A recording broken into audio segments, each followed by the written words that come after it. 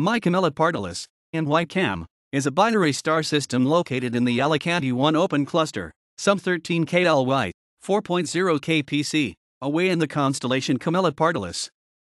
It is one of the most massive known binary star systems and a leading candidate for a massive star merger.